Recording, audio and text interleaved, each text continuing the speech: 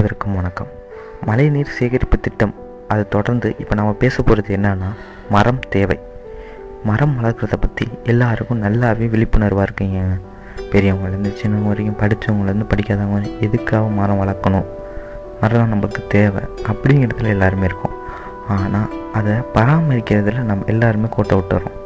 உண்மை தானேங்க ஒரு கல்யாண வீட்டிலேருந்து சிம்போசியம் ஃபங்க்ஷன் வரைக்கும். ஒரு சின்ன ஃபங்க்ஷன் தானே? சிம்போசியம் ஒரு காலேஜில் நடக்கிற ஒரு ஃபங்க்ஷன் அது வரைக்கும் மரம் நடுறோம் ஆனால் அது அத்தோடு விட்டுறோம் நான் ஒரு காலேஜில் படிக்கிறேன். ஒவ்வொரு சிம்போசியம்லேயும் மரம் நடுறாங்க அந்த ஸ்டூடெண்ட்ஸ் முன் வந்து ந- இருக்காங்க அந்த இடத்துல வந்து ஸ்டாஃப்ஸுக்கு முன்னுரிமை கொடுத்து தான் அந்த ஸ்டூடெண்ட்ஸ் எல்லாருமே அந்த மரம் நடுற அந்த ஒரு ஈவெண்ட்டே பண்ணிகிட்ருக்காங்க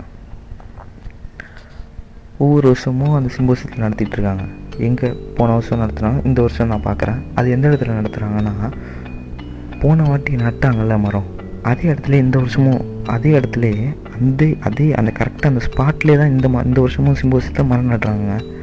நீங்கள் சிம்போசியத்தில் ஃபங்க்ஷன் வேணால் நட மற்ற எந்த ஈவெண்ட் வேணாலும் அதே சேம் பிளேஸில் நடக்கலாம்.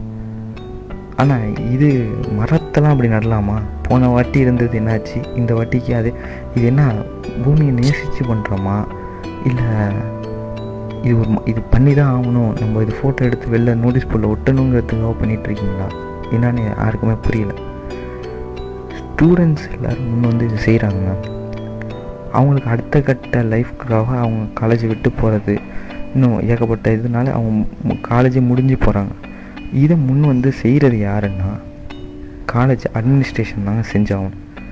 ஸ்டூடெண்ட்ஸ் படிப்புனால் நாட்டுக்கு முன்னேற்றம்னா நீங்கள் இந்த மரத்தை மெயின்டைன் பண்ணுறதுனால நாட்டுக்கு முன்னேற்றம் தாங்க. ஒத்துக்க முடியுமா? இதுலேருந்து நான் என்ன சொல்ல வரேன்னா உள்ள மரத்தை காக்கணும். இருக்குல்ல நல்ல பெரிய மரமாக இருக்குல்ல அதெல்லாம் நம்ம மெயின்டைன் பண்ண கற்றுக்கணும் அதை.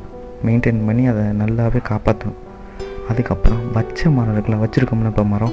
கன்று சின்ன கண்ணாக வச்சுருக்கோம்ல அதை மெயின்டைன் பண்ணணும். அதை வளர்க்கணும் நம்ம.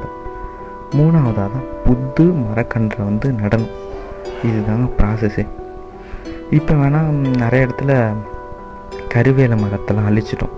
இப்போ அங்கே இடம் இருக்குது அந்த இடத்துல நம்ம புது மரக்கன்றுலாம் நட்டுக்கலாம். ஆனால் வைக்கிறதும் எந்த இடத்துல வைக்கிறோங்கிறது நல்லா யோசித்து செயல்படுங்க. சும்மா வச்சுட்டு ரெண்டு வருஷம் கழிச்சு நான் பில்டிங் கட்ட போகிறேன்னா அது அப்போ தான் அந்த மரமே ஆளாக இருக்கும் அப்போ வெட்டிடாதீங்க. அது ஒரு உயிர். உங்கள் புள்ள மாரி வச்சு பாருங்கள் மரம் தேவை. செயல்படுங்க. இது ஒரு விழிப்புணர்வாக எடுத்துங்க. நன்றி.